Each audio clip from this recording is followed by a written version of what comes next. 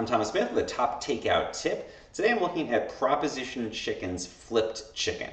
Um, so Proposition Chicken has locations in San Francisco. They've got locations around the Bay Area. Personally, I like to get food there from Local Kitchens, which is in Lafayette. It's a micro food hall featuring a variety of different restaurants in downtown Lafayette. Um, and this is their flipped chicken entree.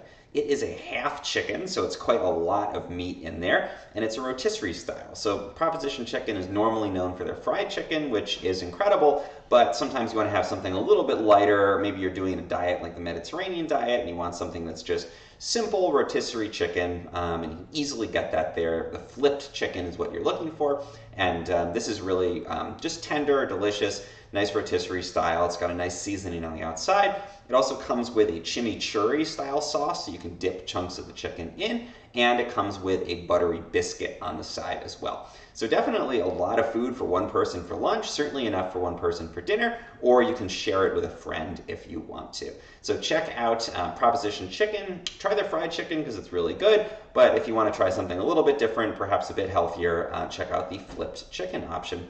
For more information, check out bayareatelegraph.com.